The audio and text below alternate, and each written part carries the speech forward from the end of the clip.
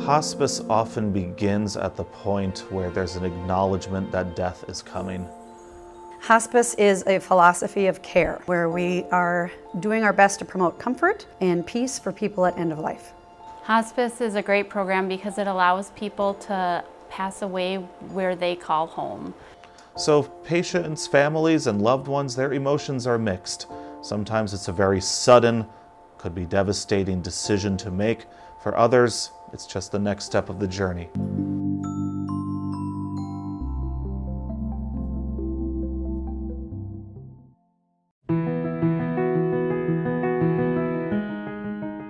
A typical hospice journey for emotions would include everything from the day we meet the patient and their family where they're very anxious. Um, they're usually feeling alone and overwhelmed, um, probably a little scared of what's to come. CentraCare offers nurse, social worker, we have massage therapy, music therapy, we have chaplain services and volunteers, and we also offer um, hospice aid services.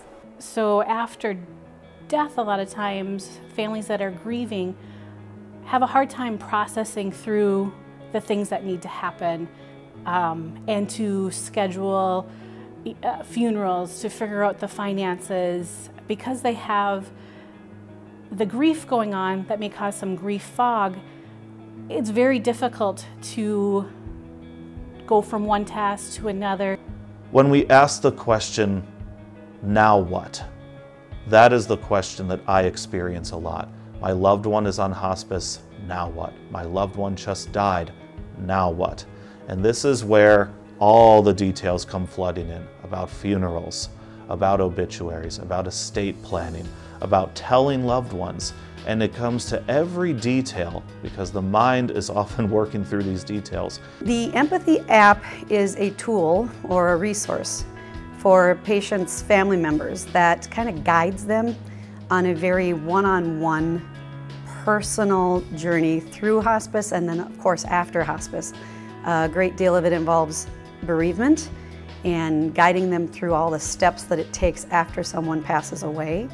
Empathy um, is an app that is an easy access for families um, to go to at the end of life in the last days or after they pass as a resource for support and then um, ideas on what to do, next steps, a checklist. It's a connection for family to be connected together on these things that they might need to do. Grief is just one section of it. It has planning a funeral, planning a wake, even writing an obituary, and then with all of the paperwork, if you need to apply for Social Security, if you need to apply for veterans benefits, if you are looking for other financial support, they can help walk you through that. Uh, they can help with closing social media accounts, um, how to go about doing that. Within the Empathy app, there's ability to assign tasks to other family members to help through that process. What I appreciate most about the Empathy app and the team is that there is a care manager behind it, someone to talk to, someone who's connected with the family, who can hold that space with them. Not just resources, but someone who can help maybe curate some of those resources.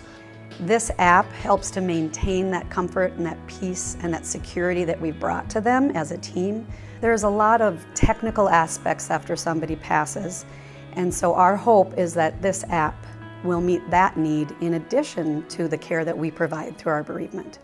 As we move through this linear journey accompanying people on this timeline, I believe the app fills in the gaps and meets people in the fluidity of all that grief holds.